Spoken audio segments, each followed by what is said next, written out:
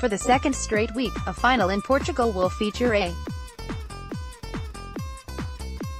and on Sunday, Lisbon native Pedro Sousa will battle Casper Ruud at the inaugural Braga Open. A first ATP Challenger Tour title of the year will be on the line, as Ruud and Sousa meet for the 43,000 euros clay court crown. Ruud is bidding to become the first teenage winner on the Challenger circuit this year and lift the second trophy of his young career. He survived a tricky half of the draw without dropping a set, ousting fellow Another teen, Felix Auger-Aliassime, also featured in their section.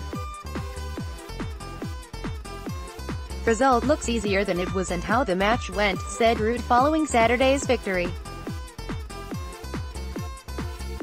There were some good rallies and I was taking advantage of playing with balls that moved heavier through the court. There was also a lot of wind, which is better for me than him. He plays flat and goes for big shots. A lot of things were on my side today and I was a bit lucky at times, but I used my weapons when I had to and I was just ready to play for every point. In the end, it was a comfortable win for me. Whenever you play a match on a Sunday, it means you are doing well. Of course you want to go for one more and give it everything you have but it's been a great week. I haven't dropped a set yet and I'm feeling confident and ready for tomorrow. I saw Pedro almost beat Joao Sousa last week in Estoril. I watched a little of that, so I know he's a good player.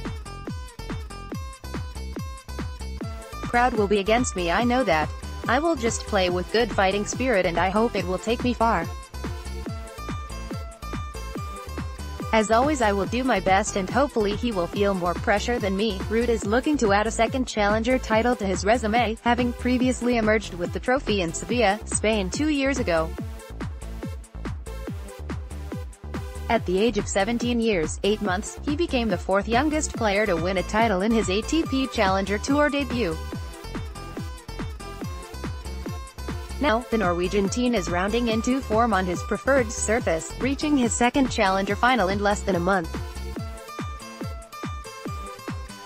Also the runner-up in Francavilla al Mar, Italy, he is projected to return to the top 150 of the ATP rankings with a win on Sunday.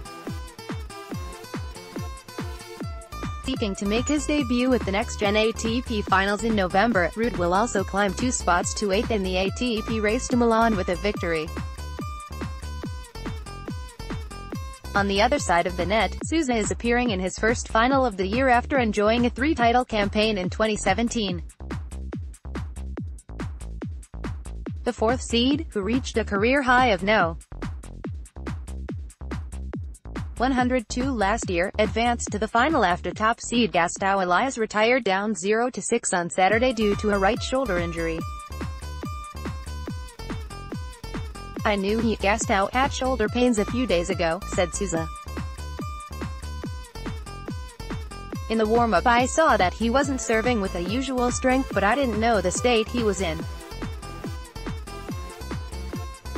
During the match I realized that he was not in the best of conditions and I was trying to play as many balls as possible. Unfortunately he had to retire. These matches are the reason why I practice every day and I hope to be well tomorrow and manage to win another tournament. I've practiced with Casper a few times in Tunisia, at the Tunis Open. He's a young player, full of potential, who I'm sure will be a great player in the future. I will try to counter his weapons, make a good match to try to win. You can watch a free live stream below of the Braga final, beginning at 11 a.m. British Summer Time, 6 a.m. Eastern Standard Time.